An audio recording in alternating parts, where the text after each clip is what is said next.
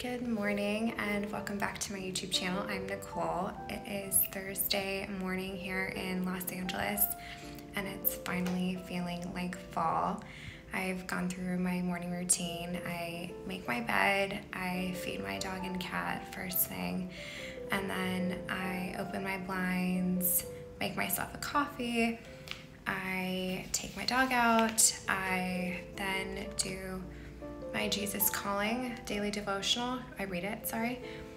And then I'll read a little bit of my Bible. So I stay grounded throughout the day. That tends to be my armor against, you know, the enemy.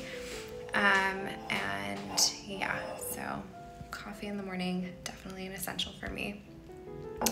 Um, I've recently decided to embark on a running challenge. Um, I created a four week running challenge that I'll link below um, and also share it on my Instagram if you want to see and follow along with me. That'd be awesome.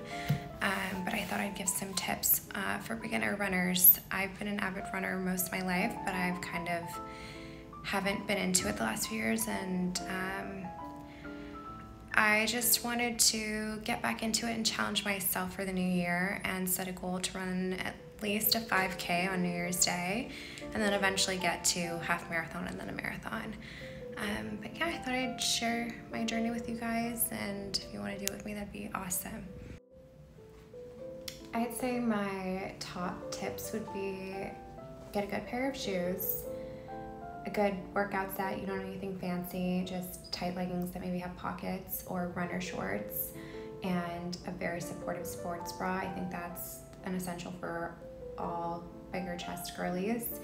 And um, stay hydrated on your runs. I don't take creatine before my runs because I want to make sure I'm very hydrated. And I personally fast before my runs, but I recommend that you fuel up before your runs. Um, and post run have some sort of smoothie or protein shake or protein bar to recover um, and drink drink plenty of water.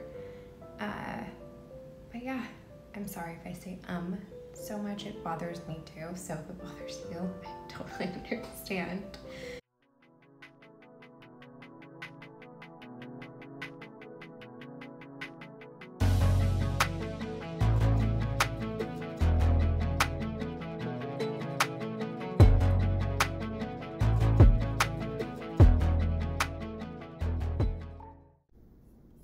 Hey guys, I just wrapped up my run and walk, and it was such a great way to start the day. I'm feeling really refreshed, so I decided to head over to Earth Bar for a post run smoothie. I went with the matcha frappe, uh, but to be honest, it wasn't my favorite, but it was still pretty good. Not something I'll crave every day, but if you love matcha, you might enjoy it. For lunch, I decided to try the viral cucumber salad.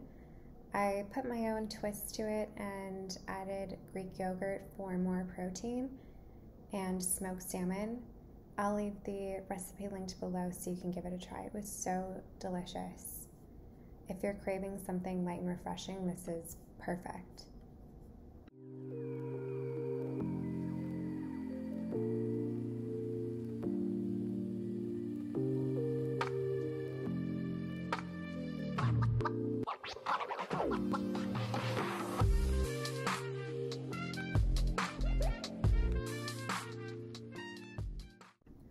For dinner, I made healthy coconut rice with sauteed chicken. It reminded me so much of my home in Singapore, even though this isn't a traditional Singaporean dish. It still hit all the right notes for me with that coconut flavor and peanut satay sauce with the cucumbers. It's one of my favorite dishes to eat when I'm in Singapore. And then to end the night, I treated myself to a peanut butter almond cookie. It's super simple, just peanut butter, almond flour, and honey, and they're so yummy. You can also add collagen or protein powder to your cookies. Thank you so much for watching. Please subscribe and like for more videos. Sending you lots of love and peace. Bye